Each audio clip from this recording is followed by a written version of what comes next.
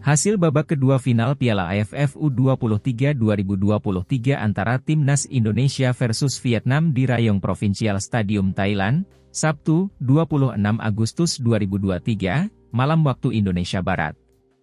Permainan keras tersaji pada babak kedua final Piala AFF U23 2023. Hujan kartu kuning pun terjadi untuk kedua tim, permainan keras dan saling menjatuhkan lawan terjadi pada jalannya babak kedua. Pada akhir laga babak kedua, pelatih Indonesia Shin Taeyong mendapat kartu kuning dari sang pengadil lapangan imbas protes keras yang diberikannya dari pinggir lapangan.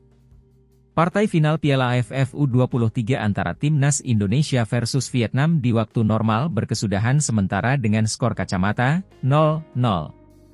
Adapun laga final Piala AFF U23 2023 antara Timnas Indonesia versus Vietnam akan dilanjutkan melalui babak extra time 15x2 menit.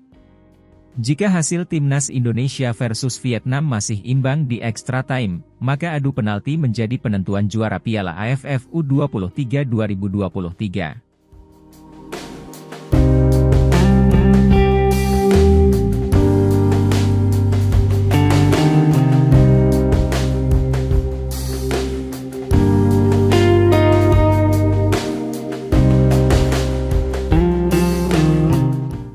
Terima kasih sudah nonton.